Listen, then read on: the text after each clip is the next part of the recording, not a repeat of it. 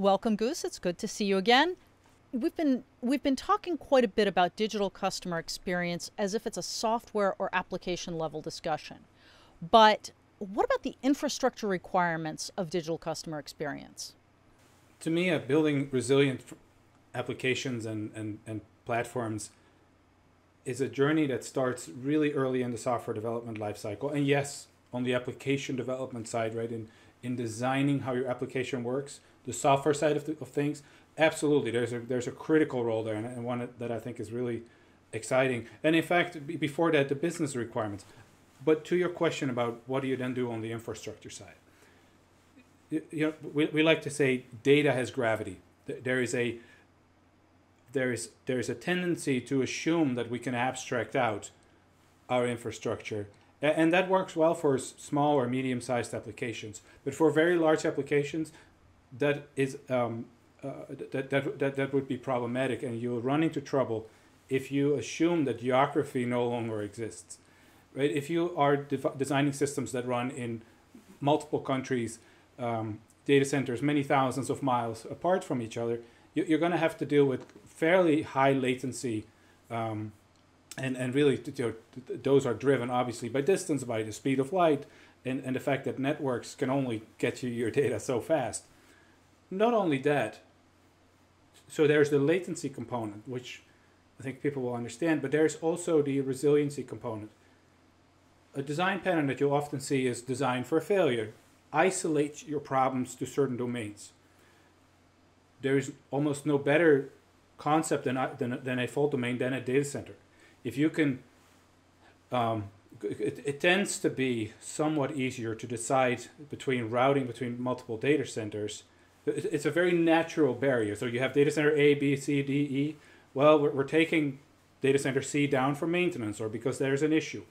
So the concept of fault domains is something that is therefore by, na- by nature driven by your infrastructure it's a physical data center that you're temporarily not using or using less of and so it, it goes to show that those fault domains and those resiliency decisions yes they start with your application design but your but your your infrastructure needs to be very much part of that and how does cloud play into all of this as you begin to migrate those data centers to the cloud how do you still take into consideration th- the speed of light and fiber and latency concerns in a cloud environment?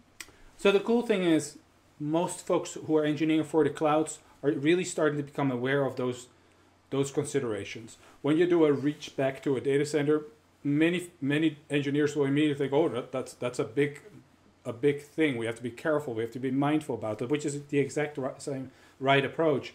Um, so so and that brings me to that bigger theme of, of culture.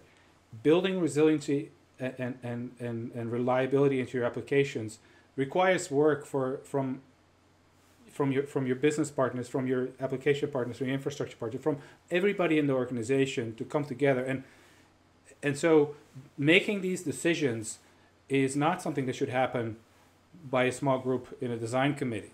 That that should be uh, you, you should build your culture. You should work on on getting everyone involved in those decisions and, and, and providing feedback cycles so that if there is a project or a team that says, you know, I'd really like to try something in the cloud, that from day one they, they have in mind, or maybe maybe we should not do a reach back or do only one reach back or, or whatever whatever sort of so they can start those conversations early on about how do we interact between my cloud my cloud you know availability zones, my cloud domain into data center A, B, C, D, or E, and and um, it, it, a big part of what I've learned over the years is is getting that culture ready, is getting everyone to understand how small things can contribute to a significant increase in resi- in resiliency.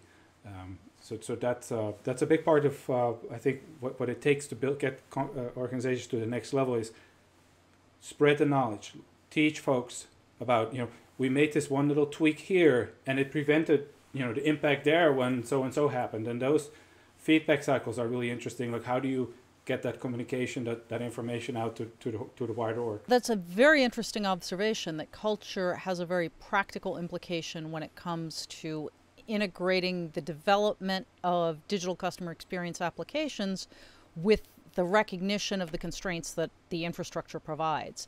And it's interesting to me that you're putting that that bridge is actually culture because what you want to do is make sure that the infrastructure folks are fully versed on what the application developers are looking to do, and then the application developers understand to an appropriate level the constraints of the infrastructure. So thank you for that. That was very insightful. Uh, 100%. And there's one more aspect that, that I briefly touched on. It, it even starts earlier in your life cycle.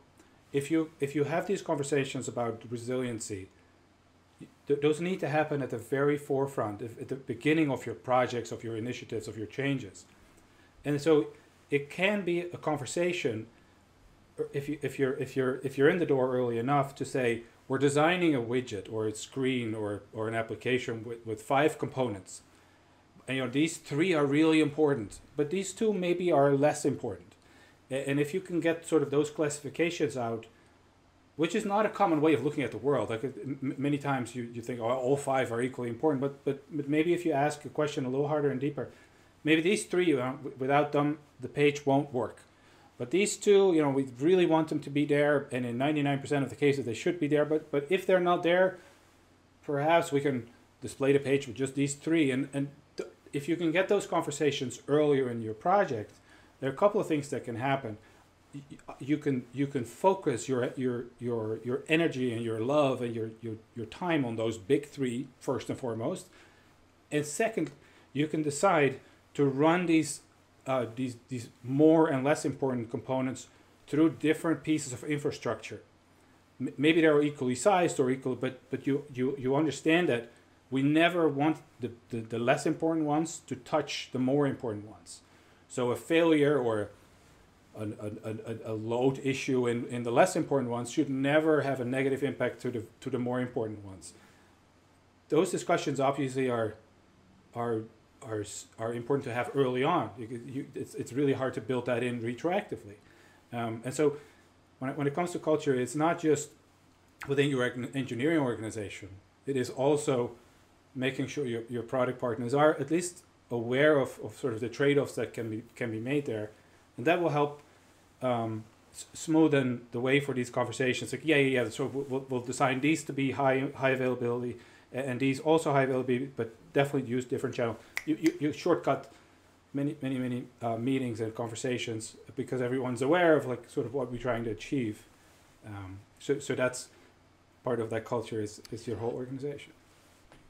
So it's not just the culture, but it's also using that culture of sharing at the very beginning of the development cycle to ensure that features are appropriately prioritized so that you can design for them because I can see how how, yes, you have to push an application owner to say, what are the most important things that have to happen and what hmm. are the things that are nice to have but could fail if it had to. So that's very insightful. Thank you very much.